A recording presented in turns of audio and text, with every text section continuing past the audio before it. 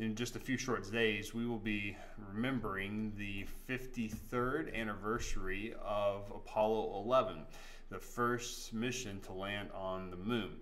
And over those 53 years, we've learned a lot about that mission, launch and journey to the moon, on the moon, coming back. We, we know Neil Armstrong's famous words as he stepped foot on the moon that it was one small step for man, one giant leap for mankind. But what we maybe don't know is something that has been forgotten over the course of those 53 years. And that is before they stepped foot on the lunar surface, Buzz Aldrin took communion in the lunar module. He wanted to do something that just emphasized that this was a further exploration of not just science, but of, of seeing God and His creation and and he wanted to broadcast it to the world, but after NASA got sued after the Apollo 8 mission, where they read from Genesis as they orbited the Earth on Christmas Day, uh, they he kept his remarks very general, but privately took communion there on the moon. A link is in the description of this video if you want to see uh, the 1998 From Earth to the Moon series uh, by, that HBO did, uh, showing this scene communion was important to him. It's important to us. And we're entering in this series called Why Do You Do That? where we're breaking apart our worship services. And we're doing this for a certain, very specific couple reasons. Number one is because there's a lot of us who maybe have done this really um, very frequently for our life. We've, we've done it routinely. And sometimes when we do things routinely, we forget its meaning.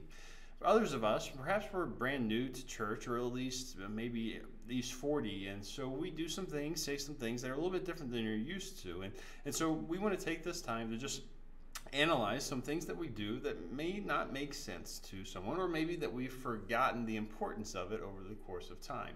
And so today we're talking about communion.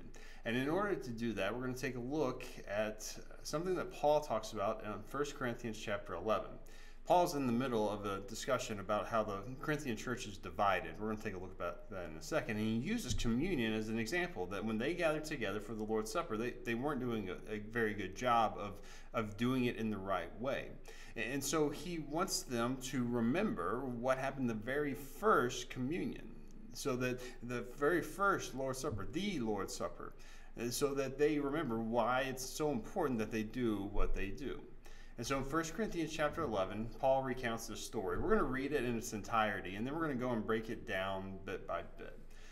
Paul says this For I received from the Lord what I passed on to you. The Lord Jesus, on the night he was betrayed, took bread, and when he had given thanks, he broke it and said, This is my body, which is for you. Do this in remembrance of me.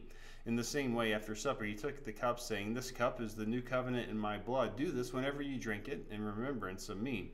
For whenever you eat this bread and drink this cup, you proclaim the Lord's death until he comes. So let's break down this together. But firstly, we observe communion because we're called to. Paul says, I receive, For I receive from the Lord what I passed down to you or passed on to you. Receiving and passing is in the context of traditions. Traditions passed down from person to person, generation to generation. Paul says, I've received this message, and he says from the Lord. And so there's some uh, a bit of uncertainty exactly how he heard it, whether it was from Jesus himself who, and we just don't have recorded in Scripture that Jesus said this is what happened on the night that I was betrayed in my Last Supper with my disciples, or it was somebody that was in the room where it happened that they said, "Hey, I this is what happened. I'm going to pass this on to you." However, he received it. He, he considers it from the Lord, and now he's passed it down to the church in Corinth. And not only the church in Corinth, we get the impression that he passed it to every church that he went and he started. He said, Hey, listen, this is something that I have been told that I need to remember. This is something you need to remember. So Paul passes this down the, the importance of remembering this meal when they got together. Later on in verse 26, or the first part of 26, he says, For whenever you eat this bread and drink this cup. It's a reminder that this is something to happen with regularity. It's not something that is uh, observed once or in, or in the past and that's it. No, this is something that the people who follow Jesus are supposed to be doing with regularity. And I know that you perhaps have a different tradition than East 40. East 40, we take communion every week. Perhaps you grew up in a church where you took it once a month or once a quarter or something like that. But, but let me tell you why East 40 does it once a week. It's simply because as we look through the early church, we think that when they got together, they did this. In Acts 2.42, it tells us about the gatherings of the very first kind of church, the first group of Christians. It says that they devoted themselves to the apostles' teachings and to fellowship, to the breaking of bread and to prayer. The breaking of bread was the remembrance of Jesus. It was the observance of the Lord's Supper. It was often in the midst of a larger meal, but there was always a, a, time set apart for this. Luke, who wrote the book of Acts, remembers his journeys with Paul. And, and in Acts chapter 20, he says, On the first day of the week, we came together to break bread. It's something that they did. And so every time East 40 gathers on a Sunday morning, we take communion because we are called to. We're, we're called to remember that Lord's Supper and all that it means. The second thing that this reminds us of, Paul recalling the very first, or the, the Lord's Supper, the Last Supper with Jesus and his disciples, it reminds us that when we observe communion, it reminds us that all are welcome. Paul is using a very specific meal. He says, The Lord Jesus on the night he was betrayed. So this is we see Jesus eating a lot through scripture, eating at people's houses and gathering together. But but Paul is saying no, this is a very specific meal that he took part in. It was a meal that he ate with his disciples on the night he was betrayed. It, he gives the parameters of it. Now, it also reminds us of who was at that meal. And when we come together and we gather around communion, we're, we're reminded that communion reminds us we're, we're all welcome. Everyone is welcome here. Everyone washed by the blood of Christ are welcome at God's table because it's not our table, it's, it's the Lord's table. Think about who was there. There was Judas, the betrayer, Peter, the one who would deny him in a few short hours, Thomas, who was ever skeptical, all the disciples who we have in Scripture, all but one, it seems, ran away in just a few short hours and left Jesus to die alone on the cross. And yet Jesus ate with them.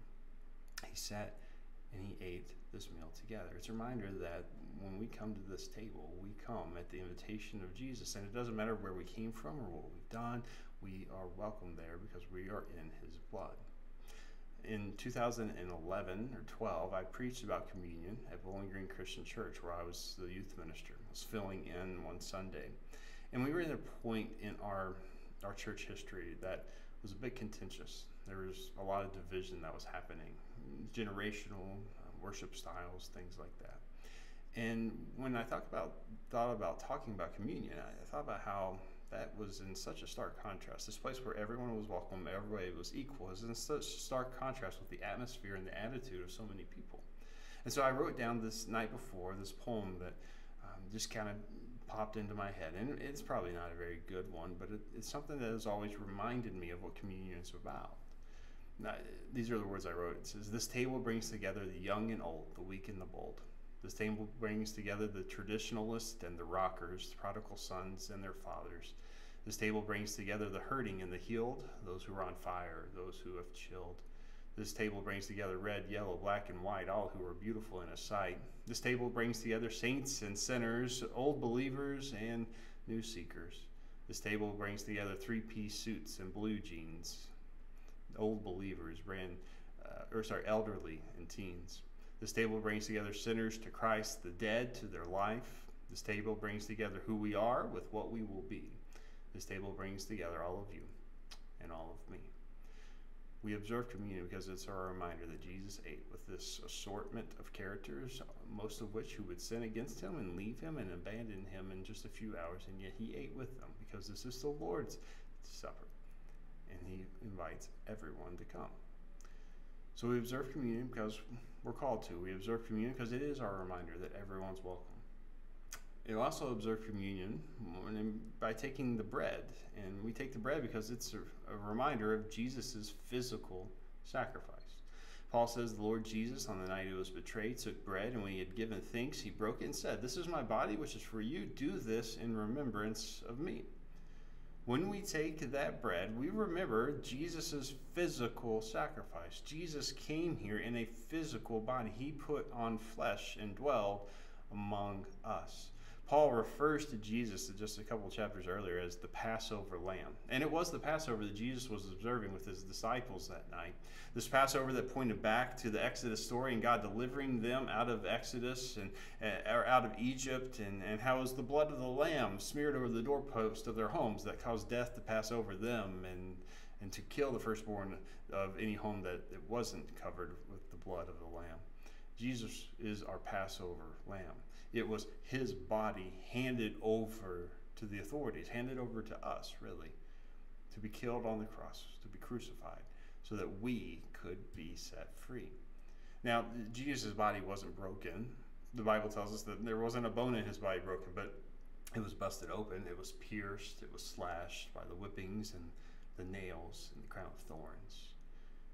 And, yet, why does Jesus, if his body wasn't broken, break the bread? Well, it's quite simply this. He he breaks the bread so that everyone can have a piece of that one body. It's a reminder that that one body ties together every single one of us. One sacrifice for the many. Now, the reason that Paul's having to go through this discussion is because the Corinthian church, probably a lot like our churches, have forgotten that. He mentions in verse 20, he says, When you come together, it's not the Lord's Supper you eat. You're not doing it right. And the reason was because when they came together, like I said, the Lord's Supper was, or the, the breaking of bread, the Lord's Supper was a part of a grander meal that would take place. But everybody would bring their own meal. And in the church in Corinth in particular, there were people who had a lot and there were people who had very little. And so when people came together, those who had a lot had a lot of food. Those who didn't have much didn't have a lot of food. And so they would finish eating quicker and they would probably be more hungry as they would continue to sit around and wait for all these other people to eat all their food, maybe overindulge in their food, and they go home stuffed. And this was causing a division, not just because of the economic differences, because of the differences in the amount of food that was being eaten, but also at the heart of what was happening there. See, the issue was that the people who had plenty didn't care that people didn't have as much. They didn't care that people were still hungry. They were just focused on themselves and their meal. And so Paul says, listen, it's not the Lord's Supper you're eating because when you're coming together, there's divisions. And we need to be reminded in the recounting of the story, Jesus took his body, his bread, the bread, represents his body, and he broke it and gave it to everyone, saying, This unites you. So if you're doing anything that doesn't unite you, that doesn't belong here. And so when we gather together and we take the bread, we were reminded that it comes from this, the same loaf, the bread of life, Jesus. It unites us under His Lordship. We don't take different types of bread. We don't take different types of, because there's not different types of salvation. There's the only one. There is the way, the truth, and the life. And so we are all united with God through Jesus and His sacrifice. So we observe communion by taking the bread to remember that there was a physical sacrifice made on our behalf. Secondly, we also remember uh, communion by drinking from the cup, which reminds us of the new covenant. Paul says, In the same way, after supper, he took the cup, saying, This cup is the new covenant in my blood. Do this whenever you drink it in remembrance of me. When we take the cup, we remember the new covenant. And now, because there's a new covenant, we obviously know that there was an old covenant an old covenant that was founded in the Old Testament. One in which the sign of the Old Covenant was the circumcision of every Jewish male. And the deals of the Old Covenant was the law. These were the laws that the people of God were supposed to follow. We know the Ten Commandments, but there are hundreds more that they were supposed to continue to follow. And, and when they didn't, because inevitably they could not, they would have to come and make amends for that they would have to prepare, find an animal with a very specific set of uh, specifications. They're, they had to prepare it in a very specific way. They had to give it to a priest who had to sacrifice it in a very specific way. And then, as they left the place of sacrifice, they just kind of had to hope that it was good enough. Hope that it was prepared in the right way with the right heart. There's, there's really no kind of guarantee in this. Well, Jesus says now there's a new covenant. And the thing with the new covenant is we don't have to worry about the quality of the sacrifice. Because the new covenant is not based on anything that we've done or anything we can bring. It's based upon Jesus. It's based upon his sacrifice. And we know that not only was he blameless as far as a sin aspect, but he was a pleasing sacrifice to God, that it was the Lord's will to crush him, to cause him to suffer, so that we could have a relationship.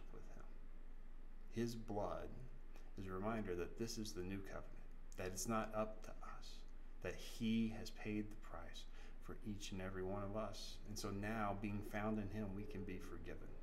The blood of Jesus is a theme throughout the New Testament.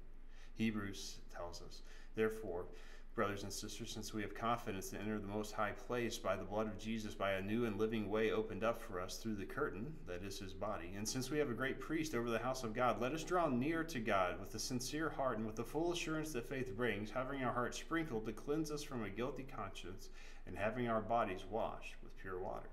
The writer of Hebrews tells us it's through the blood of Jesus that we can approach God's holy place with confidence, that we can commune with him, talk with him, be with him. John says, But if we walk in the light as he is in the light, we have fellowship with one another, and the blood of Jesus, his son, purifies us from all sin.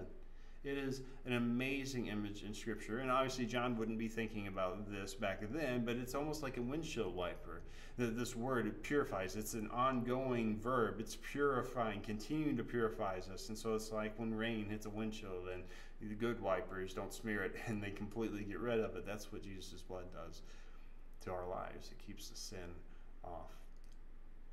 Paul writes in Ephesians 2 But now in Christ Jesus, you who were once far away have been brought near by the blood of Christ. See, the blood of Christ changes everything for us. It gives us a relationship with God, confidence before God, forgiveness for our sins. It brings us near, and we're called family because of his blood, because of the new covenant. So when we take the cup, we remember that covenant. And really, what we do when we observe communion is we proclaim the gospel. Paul recalls, he says, For whenever you eat this bread and drink this cup, you proclaim the Lord's death. Every time that we come forward and, and we take communion together, we proclaim the Lord's death, we proclaim the gospel. There within that meal, like crackers and the juice, is this larger statement that we believe that Jesus came here in the flesh. He died the death reserved for the gravest, gravest of sinners, so that being found in Him, by believing in Him, we can now have a relationship with God today and forever, being forgiven for our sins and receiving a living hope for eternity. All of that statement is represented in what we do when we come to the table. It is a presentation and proclamation of the gospel of Jesus Christ. But when we take communion, we don't just look back and we don't just look at here and now, we also look towards the future. We observe communion by looking forward to Jesus' return. Paul recalls this. He says, For whenever you eat this bread and drink this cup, you proclaim the Lord's death until he comes. Jesus gives us this, and he, he says, This is what you're going to do until until I come again. See, communion, as great as it is significant as it is, it is a placeholder until there is a greater meal that is to come. And we see an imagery of this meal in Revelation chapter 19. There, John is giving an image, uh, he's giving a preview. He's getting maybe a first-hand account of what uh, look at what is going to happen when Jesus makes all things new and sets all things right. And right before Jesus goes off to defeat every form of evil, every everything that is evil, all the results of sin and death, and all of these things, there is this image says John sees this. He says, Then I heard what sounded like a great multitude, or like a roar of rushing waters, like loud peals of thunder, shouting, Hallelujah, for the Lord God Almighty reigns. Let us rejoice and be glad and give him glory, for the wedding lamb has come, and his bride has made herself ready. Fine linen, bright and clean, was given her to wear. Fine linen stands for the righteous act of God's holy people. The angel said to me, Write this Blessed are those who are invited to the wedding supper of the Lamb. And he added, These are the true words of God. He says, This is a, the wedding supper of the Lamb. This feast, this banquet is getting ready to happen. And it's this celebration of the perfect now relationship through the blood of Jesus, but uh, this relationship between Jesus and the church, his bride. And everyone is welcome here. See, when we take part of communion, we do remember back to the cross. We do remember what it means for us today, but we also look forward to this, this grand meal that one day we will participate in as those saved by the blood of Jesus, washed white and clean. We look forward to that. So when we come and we take communion, it's not just a ritual, it's not just something mundane, it's something highly significant. We come to this table and we remember what it means. We come to this table because we're called to. We come to this table because it reminds us all are welcome. We come to this table because we remember the body given for us, the blood shed for us, that Jesus' physical death was a sacrifice, that his blood spiritually makes us clean. That we proclaim that this is the gospel that the world needs to hear and that we've received, and we look forward to one day his coming. This idea of a meal, it inter, it's interwoven throughout Jesus' ministry. He references it in different talks and different images, one of which was a, a parable about somebody who was preparing a banquet. People had been invited. They said they were going to come. And so he sends a servant out and says, It's time. But those people who said that they were coming didn't show up. They said they had something else to do. And so uh, the man's disgusted. He's angry. He sends the servants out and say, Invite more people. Well, hmm, some people come, some people don't come. And, and they come back, and the servant says, I've invited others. And the man looks over and says, There's still empty seats. Go out one more. And he goes to alleyways and all the, the probably least desirable areas of town. He says, Come and eat. And, and the, the truth was that the master wanted the house to be full. And that's what God wants. That on that banquet day, on the wedding supper of the Lamb, He wants those chairs to be full. And I hope that you I hope that you watching this that you will that you will receive that message, that truth, that you will come to Jesus, accept his invitation to make him his your Lord and your Savior, to be found in him, baptized into him, so that you can experience the meal that is to come, and so that you can eat together with those of us who have received that message now so we can gather together to remember Him every time we come around the Lord's table.